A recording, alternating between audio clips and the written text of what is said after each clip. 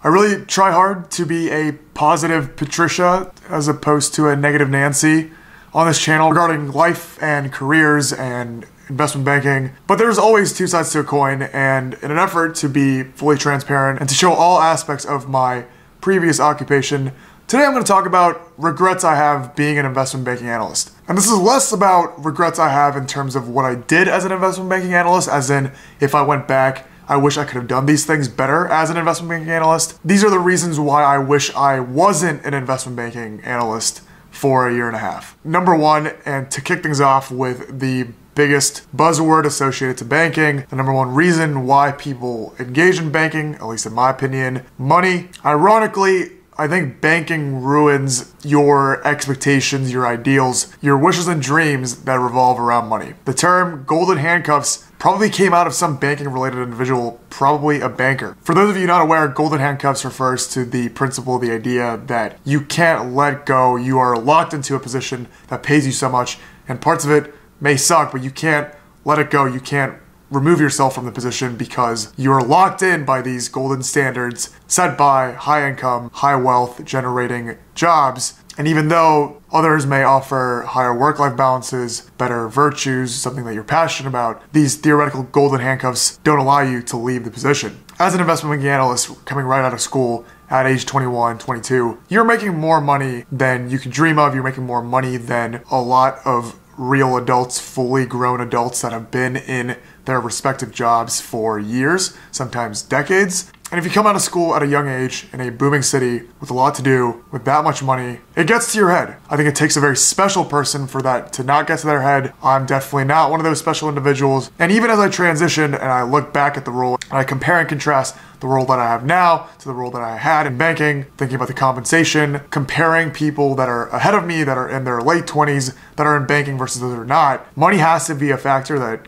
pops up in your mind. And you definitely have times, I think, that you miss that income. You have what ifs about if I continued on that track in a role that is quite possibly, in terms of stability and secureness, a pretty good payoff between compensation and years of experience. Second thing that I regret about being an investment banking analyst, starting my career in investment banking, it has to do with personality and state of mind circumstances the work anxiety and the short fusedness that comes from being in banking, I think will take a long time to wear off of me as I've exited banking. The work anxiety, I think, isn't just unique to banking. I think a lot of people have work anxiety. I think a lot of people have anxiety in general a lot due to a wide variety of factors, but I think especially in banking, because you feel like you're on call all the time, you lack sleep, you're in very high intensity situations where everyone's a perfectionist, everyone is very type A. Everything that you approach you approach with some level of anxiety. And I think there's arguments to be made that anxiety isn't always a bad thing. Having a subtle level of anxiety allows you to tackle things with perfection, and I think it allows you to produce a good work product. But if you have an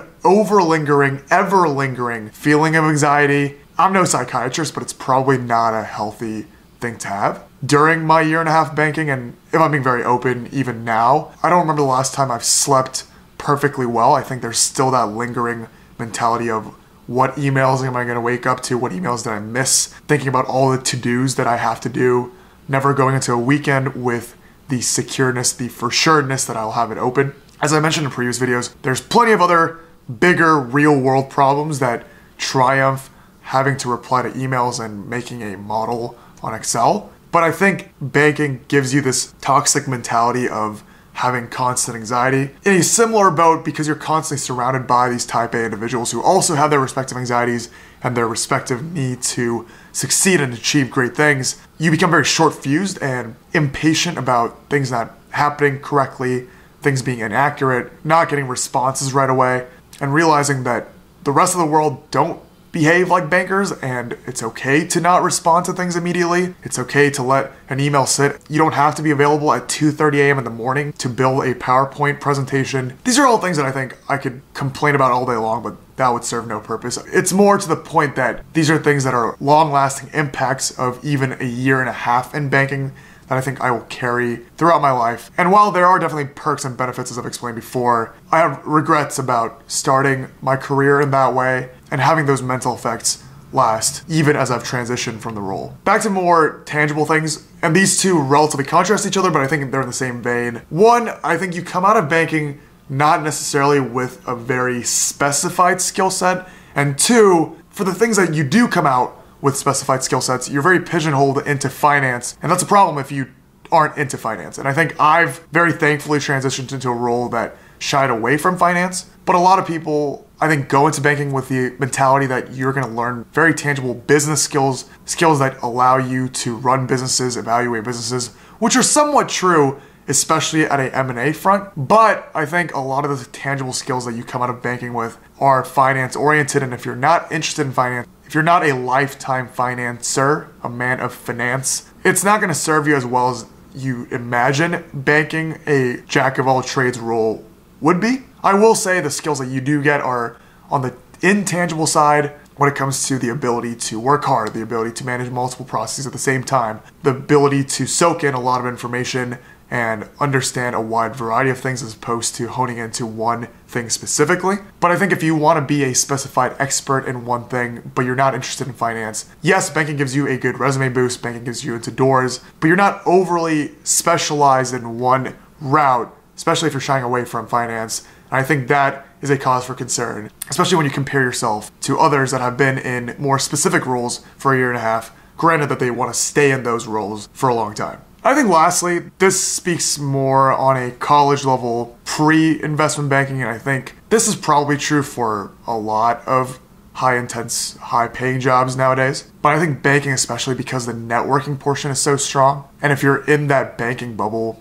everyone seems to be getting ahead. Everyone seems to be very intense in their pursuit of these roles. That's where you get the banking hardos, those that are on Wall Street Oasis all day, those that are obsessed with the bulge bracket or whatever, those that come out of the womb wanting to be bankers, those that have PE internships after second grade in pursuit of becoming an investment banking analyst. You sacrifice a lot of your college life, of your college career, being too focused on this future oriented aspect of life. And your life almost gets absorbed with getting that banking role, constantly having to speak to current bankers, constantly having to be on forums, watching these dumb videos by Bryan Jun, and just trying to break into this industry that means the world to you at that time. And you can make the argument that by putting in those times, by putting in that investment early on, it sets you up for life. While others might be partying or socializing, you are investing that time into something that's valuable. I think that's a very valuable argument. I think that those that are on the other side of things that enjoyed college a lot more might look back and say, I wish I was like blah, blah, blah, and invested my time into networking and getting a job. But as someone that's on the after the matter of fact side of the fence, I, I do see a scenario where you're so obsessed with banking right off the bat. People that come in freshman year knowing that they want to be bankers, all they do is look for that summer internship, network all day, feel drained, and when they're faced with failure and get rejected from their top firm or all firms and not succeed in breaking in, it becomes difficult. I think putting all your eggs in one basket and feeling like it's a do it or die situation, especially at such a young age, facing a high intensity, brutal industry, probably isn't the most healthy thing to do. Today I reflected on regrets that I have in pursuing being an investment banking analyst I think, as I've always said before, if I had the chance to do it again, would I do it again? I think I would. However, I think it's good to reflect on past endeavors, the road that we've come and the road that we will go towards. Not that I'll ever pursue being an investment banking analyst for the first time ever again, but there are schemas of patterns of life virtues and life decisions and life decision making that I think through reflection I can apply to future decisions. And that really comes well with introspective thought that comes after the fact. As always, thanks for watching. If you guys are interested in talking to me one on one for 30 minute sessions, use the link below to sign up on Google Forms. I am streaming every Wednesday live at 7 p.m. Pacific and 10 p.m. Eastern now to answer any questions, talk about whatever I want, get to know you guys a bit better. Always good to reflect. I hope you guys take the opportunity to reflect on your careers, your life, and I will see you guys next time. Let's go.